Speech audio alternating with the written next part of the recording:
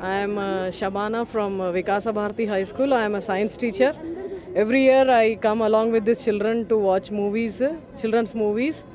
Uh, last year also I went along with these children.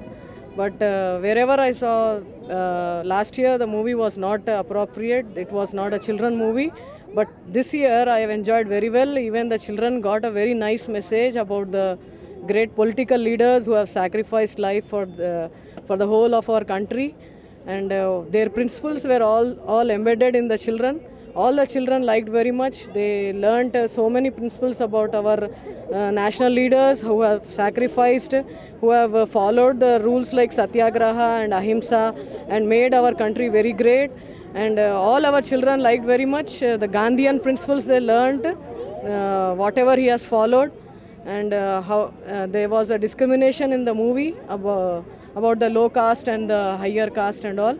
They learnt everything very nicely. All the children liked the movie very much and they learnt very nice principles.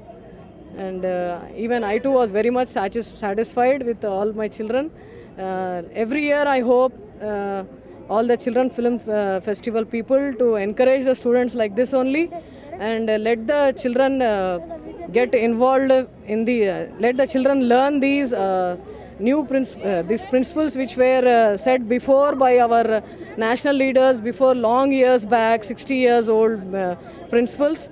All these children our children don't know. These people are the very young children. They don't know they don't know uh, these all principles have been imbibed by this children film society. So i thank you very much all the children uh, uh, film festival people that you have uh, taken a very uh, big uh, uh, reform like and you have uh, inculcated so many good principles in our children